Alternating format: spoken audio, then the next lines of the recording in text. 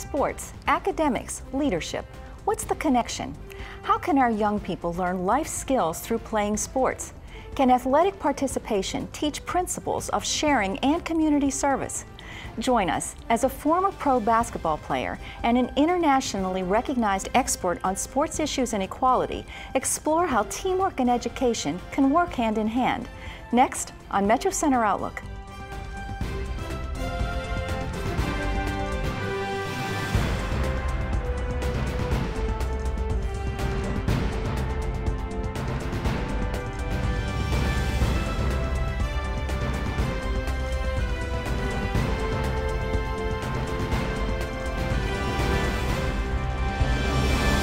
Hello, I'm Diane Trees.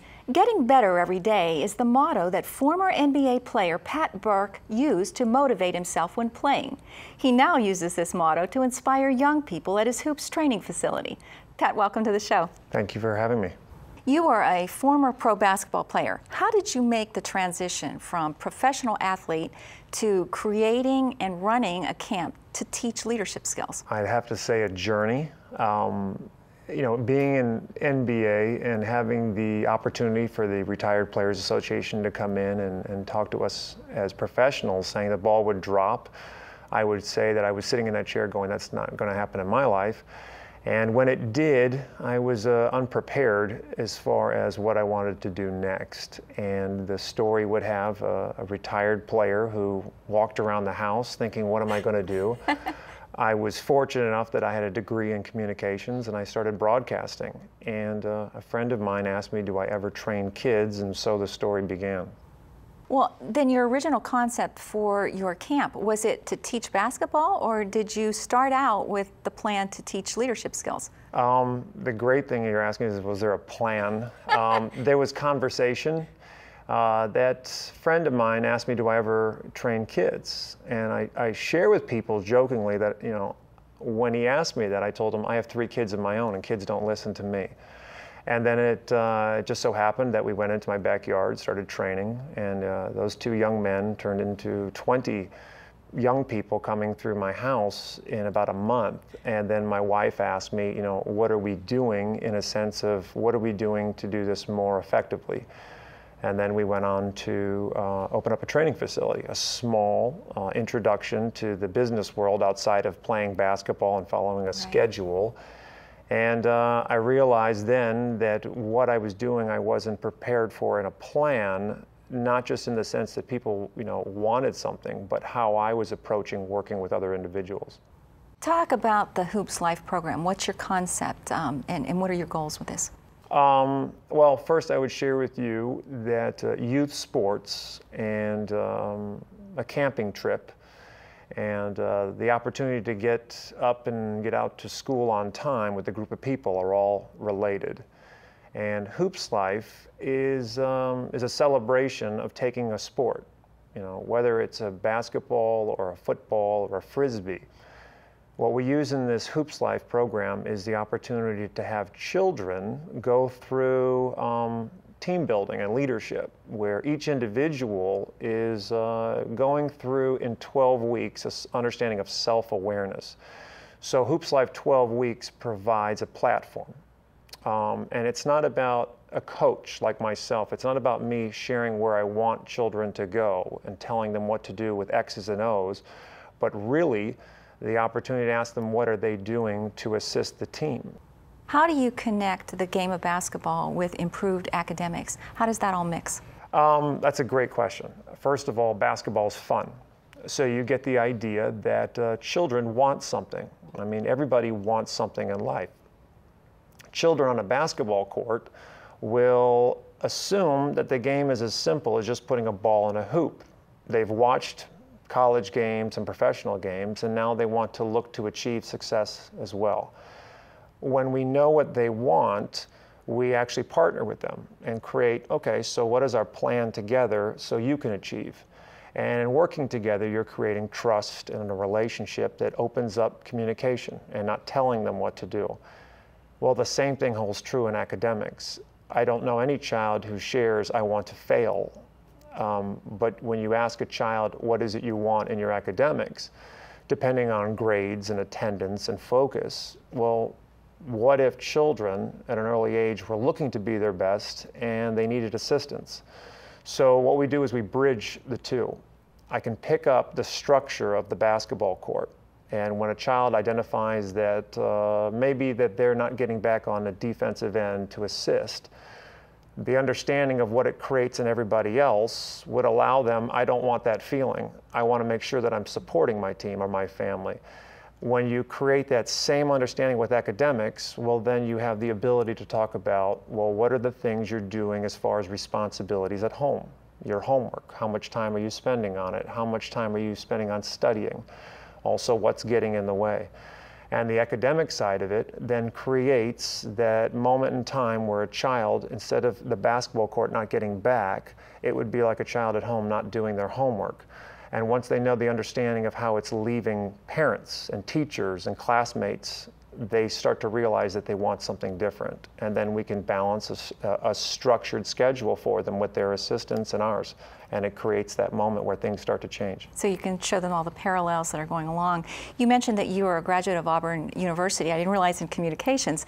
How has your educational background um, brought you along with all that you've accomplished so far? Even, um, even with you saying that it wasn't necessarily always the plan in mind, how did it help you? Um, it helped me, well, first of all, again, as I, I studied communications, and I, I see um, there is an understanding that communication, of course, is so important in daily life, in, in all those moments that I played professionally, and in the moments that I look to create team now. And you know, without that understanding and without the experience that I had going through college, with all the support I had from a young person growing up and getting the opportunity to study at a university and get a degree, well, I would share I wouldn't be here. And that would allow also the understanding that my plan was never just to play basketball. It was to be successful and to support people around me. And that's the bridge with kids is, you know, the basketball is going to drop. The football is going to drop. The frisbee is going to drop. But the opportunity to realize that it's really about the relationships around you and how you're working is the one thing that holds true every moment. You communicate very well with um, the children, let's talk a little bit more about who comes to camp. What about age, gender, diversity? Um, who are the children there? Well, it's it's again it's it's spread out. You know, you have the child who loves basketball. They've seen a game, they've shared an experience at a picnic, and they've shot a ball. And then there's children that have never played before, and um, that provides again that idea of an opportunity. If children are looking to have fun and they want fun, well, how do you create that moment? And um, the camps become an introduction. We do things in the summer that are just one week. Of course, you can't change somebody's life um, in a week, but you can introduce um, a different way of approaching teamwork, and parents identify it real quick. If I was sh- to share with you that there are children that come in that have never played basketball, and there are children that have played many years of basketball, how is it during that week that they're dancing together and they're communicating? Wondered, yes. Yeah, and again, is it's an idea that if you ask somebody before the beginning of a game, what would be the destination we would all like at the end? Well, they would tell you, I want to shoot the ball and I'd like to share the ball and honesty and um, communication and focus. Okay, well, if that's the destination at the end of a camp, well, then how do we create that line to get there? Like saying from A to B. And what you have in that idea is the children will actually share what it is they want, and then we'd say, how do we maintain that? And it's not for an adult or a coach to say what we want because they've already showed and shared what they want. And then it becomes an opportunity for people to understand that people make mistakes. And children have the opportunity to be their best when they're not given an opinion of don't do that or get back on defense or sharing an opinion. Instead, it becomes a safe place to fail where trust is built. If a child has never played basketball for the first time, well, then I would ask, why would they ever want someone to tell them that's not right or don't do that? What about if you created the opportunity and saying, well, how could I assist you in doing that in a way that uh, assist the team? Well, That's what a child wants. They want to be better and they want to have fun and they want to be able to part of the action that would make sense. And so that's what occurs during the weeks. So you're able to mix all the skill levels, all of this together and make it work. How important is it for a child to have a role model or a mentor? Do you think that that's an essential part of, of growing up? For sure. Again, as if you took uh, a gymnasium, a room, space, and you put a bunch of people in it, whether it was a child or an adult you would just have whatever happens, happens. When you'd put the same situation with an influence in the room, well, then you have, again, another chance to do something. But again, it depends on what the influence is. If you take it in sports and you have a coach that's screaming and yelling, you have an influence in the room. Unfortunately. But if yes. you take that and you put it into a room with somebody who partners and you have a team of them doing it, well, then you have an opportunity to support people. And again, as it's not just about children, because this happens all the time in our workplaces. Yes, it, does. it happens in our communities.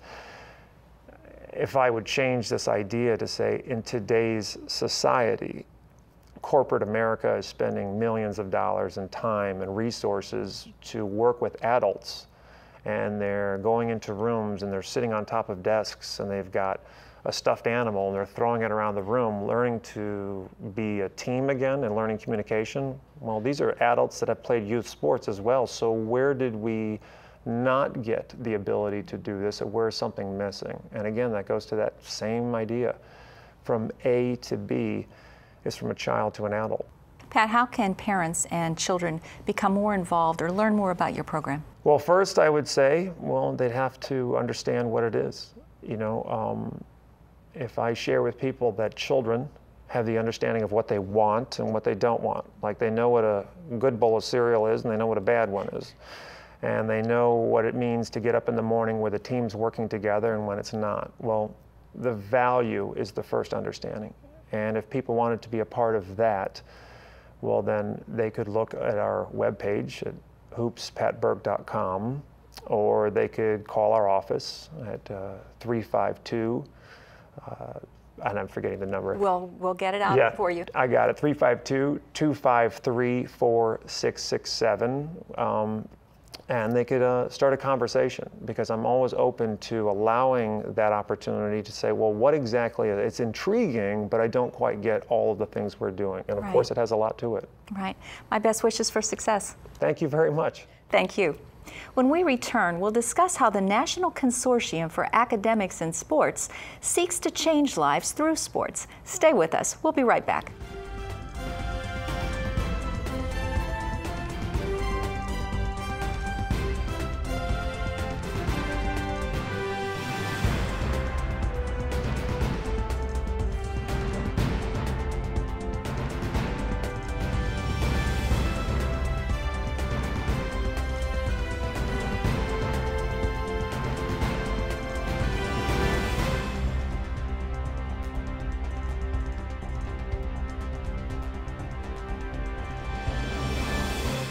Dr. Richard Lapchick is a human rights activist and an internationally recognized expert on sports issues. He founded the National Consortium for Academics in Sports in 1985 and serves as president. Dr. Lapchick, welcome to the show. Good to see you. Good to see you always. Can you give us an overview what the NCAS is about and who participates?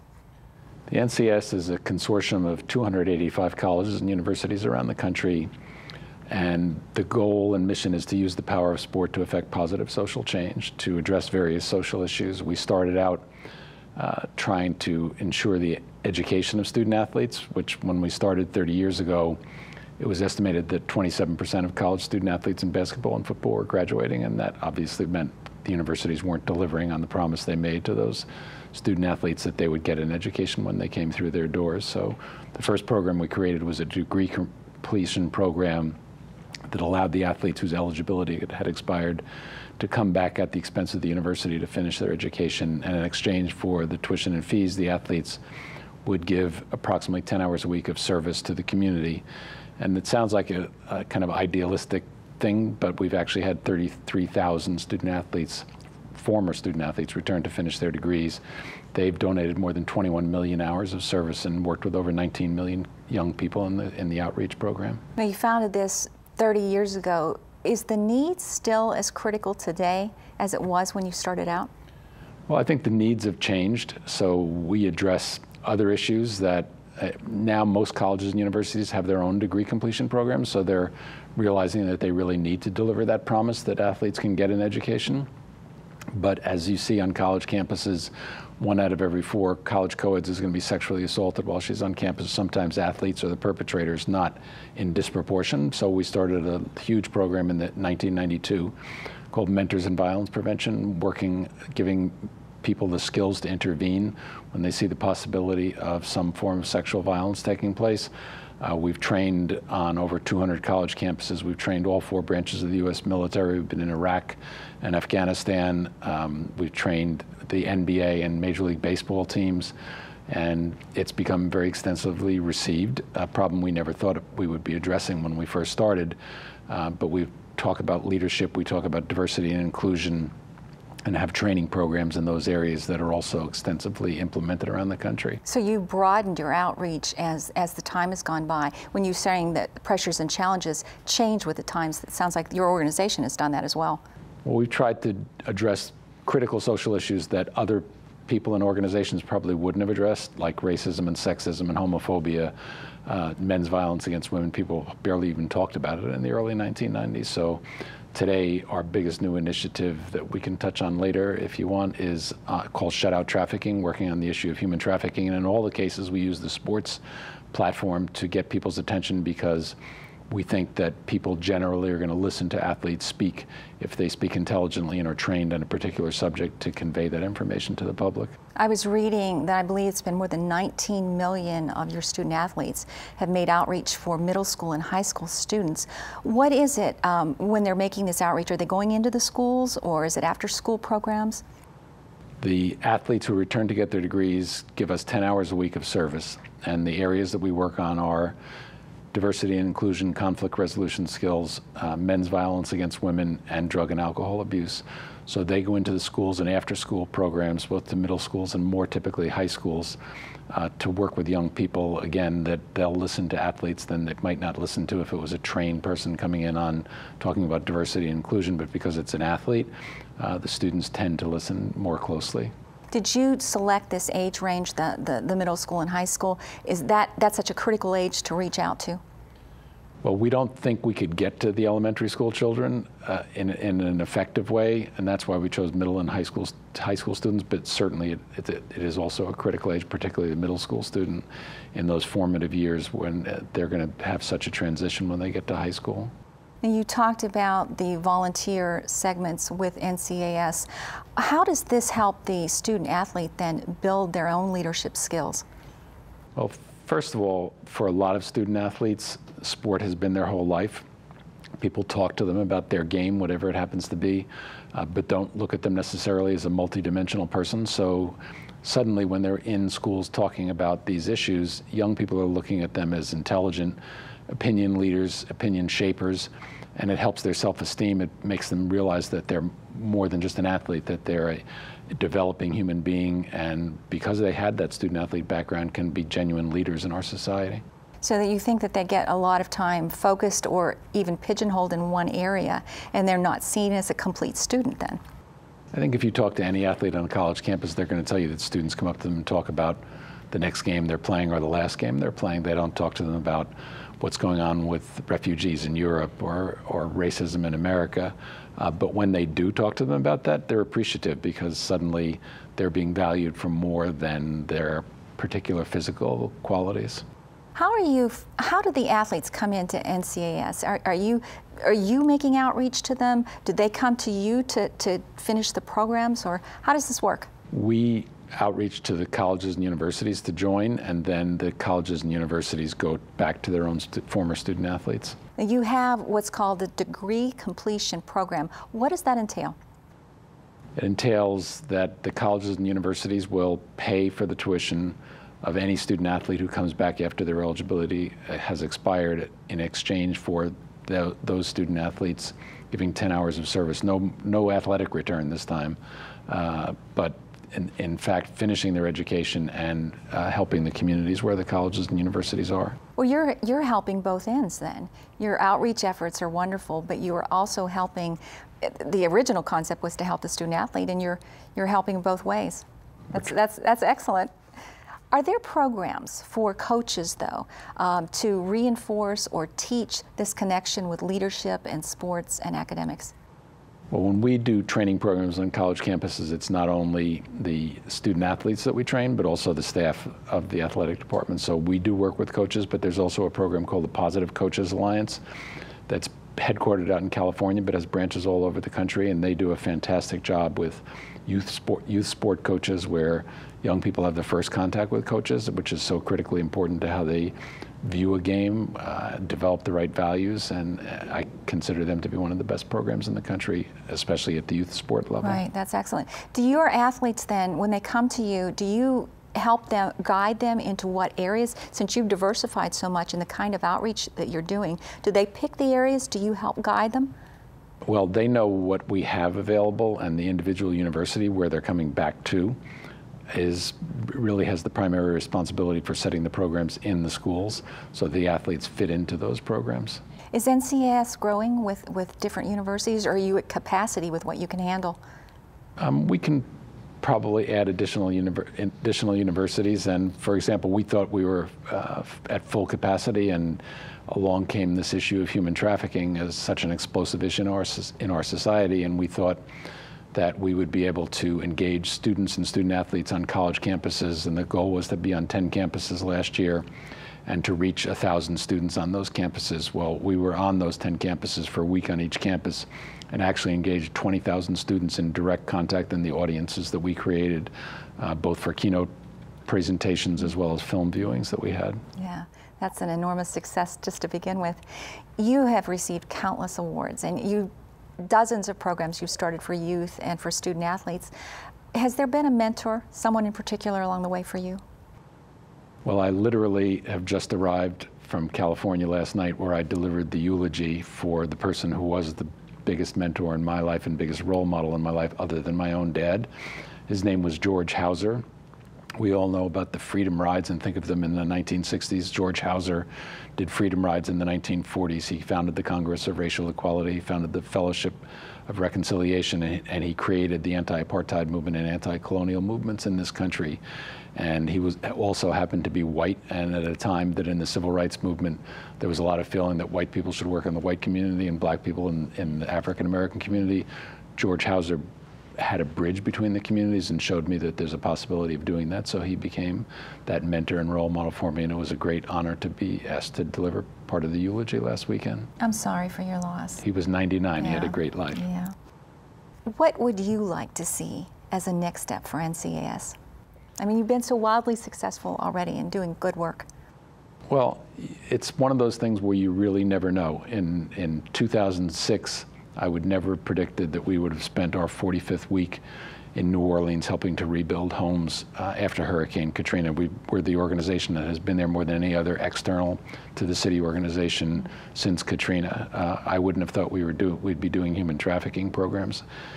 In 1990, I didn't think we'd have such a big program on the issue of men's violence against women. So we really try to respond to the needs of mm -hmm. the mm-hmm. society at that time. So I'm sure there's going to be a next issue that, that we're going to want to deal with uh, and try to respond at that moment. How wonderful to have you as president. Thank you. Good to see you as always. Always nice to see you.